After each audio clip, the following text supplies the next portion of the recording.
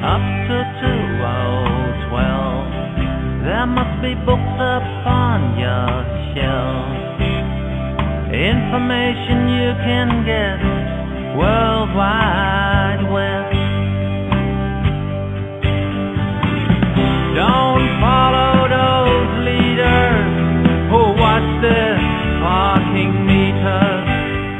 Welcome to YowRadio.com, sponsored by Your Own World Books, publishers of Crossing the Cusp, Planet X Forecast and 2012 Survival Guide, and the Kolbrin Bible.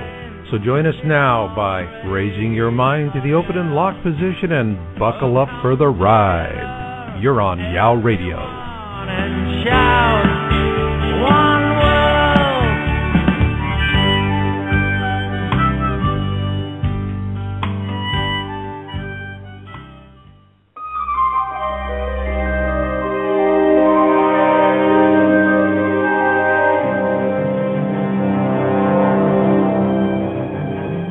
Welcome to Planet X Special Report. I'm your host, Marshall Masters, and this show is devoted to serving the needs of those of you who get it and want to get through it.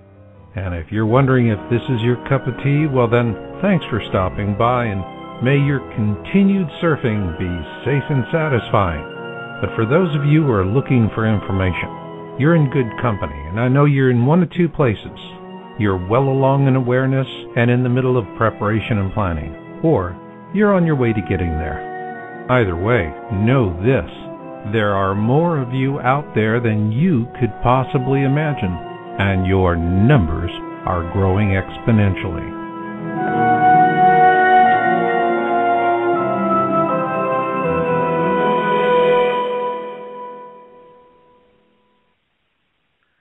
Well, hey, this is Marshall, and I'm going to be on tonight with a dynamic team of gentlemen. They're all from the Planet X forecast, uh, play, excuse me, Planet X Town Hall message board. We're going to have Ed Douglas, Richard Goodwin, and Terral Croft on. And let me just bring them on right now and introduce them to you. Here we go. And we've got everybody online now. First off, Ed, welcome Hello. to Planet X Special Report. Thank you. Good Glad to have you on, Ed.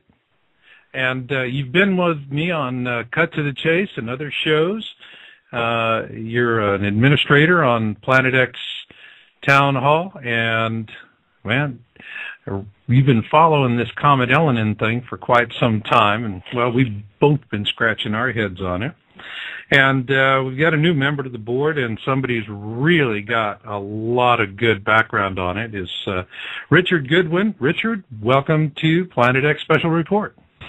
Good evening, everyone.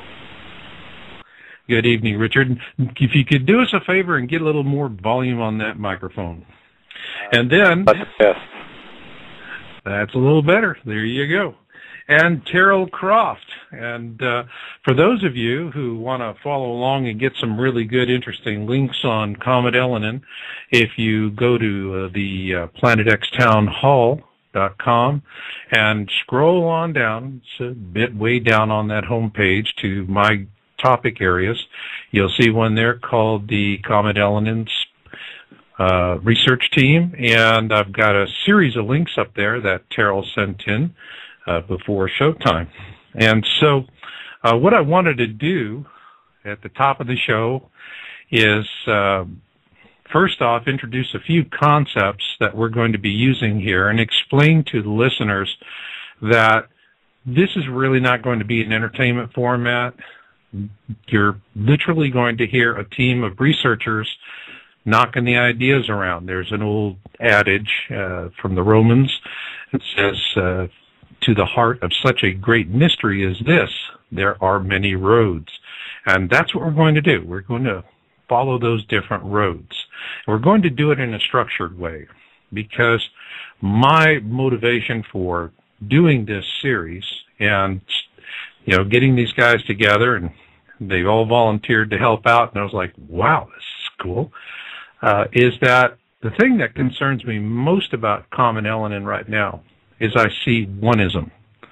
A lot of people are struggling to find that one concept or idea or gotcha, whatever it is, that pulls everything together. And if there's one thing I've learned in 10 years of doing this kind of research is that's a fool's errand because it's a big universe and it's a mighty big sky.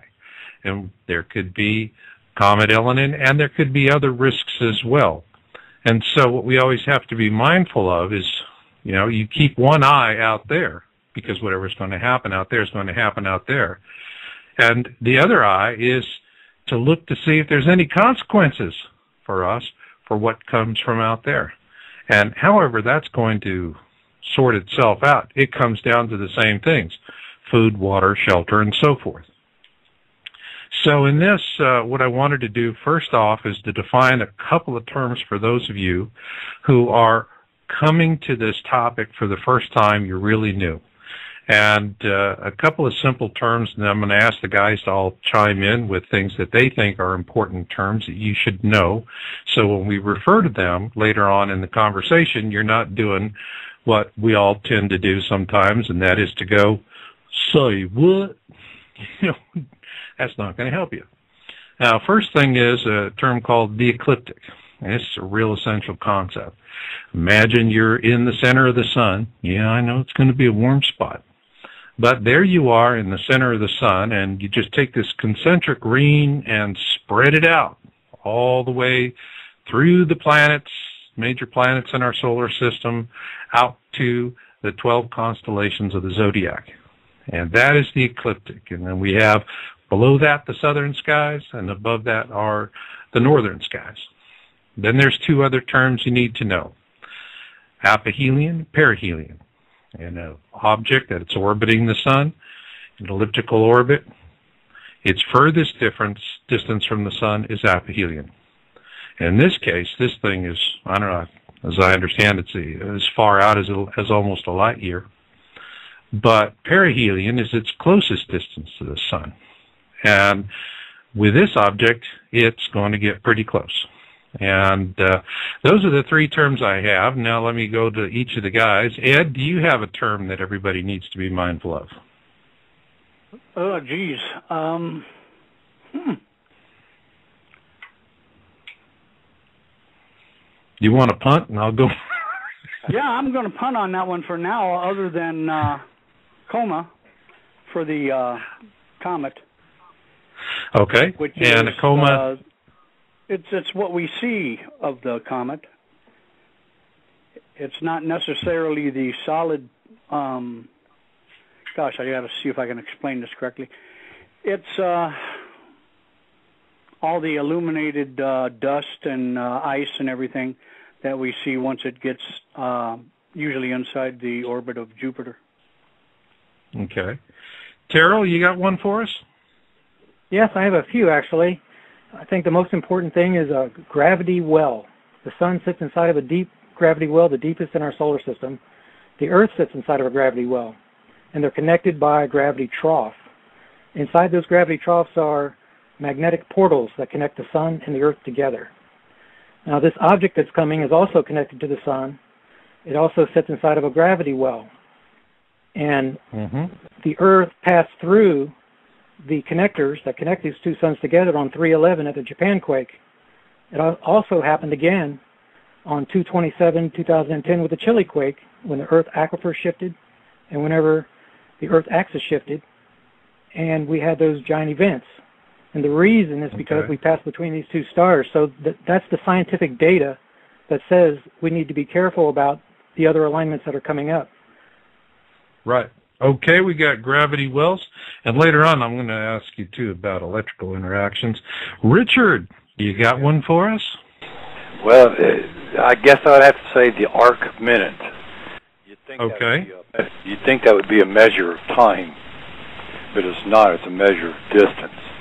And I won't really go into quite a bit of detail right now, but just remember that it's a measure of distance. Okay. So we have gravity wells, which is sun's in a gravity well, Earth is in a gravity well, and when they line up, funky things happen. And we have arc minutes. And an arc minute is not about time, It's about distance. And Ed, coma, and the coma is really well. It's when it lights up. and We're all standing out in our backyard, pointing up at the sky and going, "Woo!" Uh, we're going to see the coma, and we're going to see the tail. And also, by the way, folks, uh, the tail of an object is it's going to.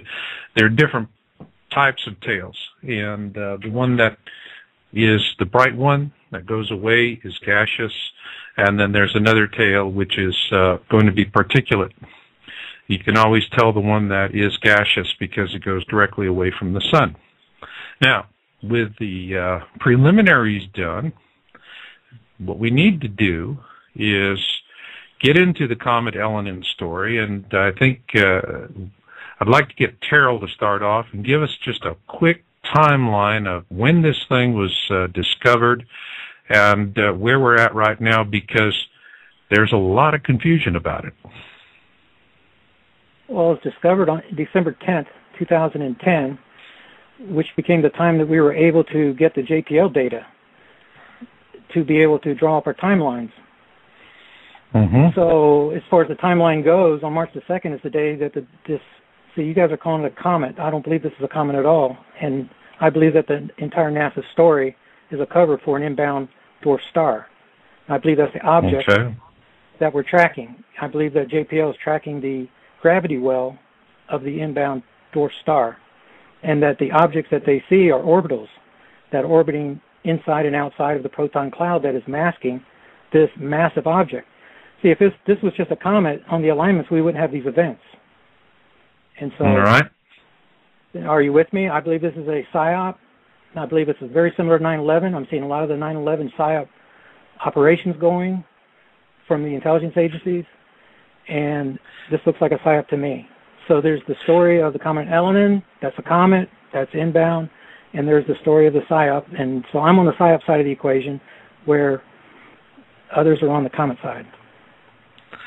Well, I tend to be on the psyop side myself. That's the part of this thing that uh, has been quite interesting for me, and uh, I'd like to get Ed and uh, Richard to weigh in on that. What do you guys think? Well, my take on it is, is, is the view of a common man. It- It's just a comet. That's all it is. Okay. But after looking at some things, of course, I do have some reservations about that statement. Well, you know, I I I'm with you there. You know, I mean, I haven't heard anything here that I've disagreed with. I mean, to me, it's still answer E, all of the above.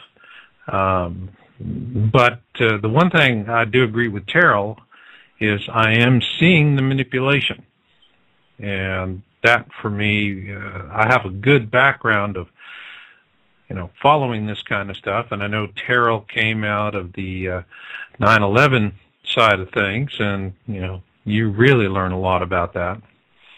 And I am just uh, there are some things that puzzle me here because at at one level, I almost feel like this could be a red herring the way it's being used that this object, I agree with uh, the notion that this object is perturbing the Earth, that uh, we're having the earthquakes as a result of this. But I'm still not sold on it being the Planet X that we've been looking for. And the question I have in my mind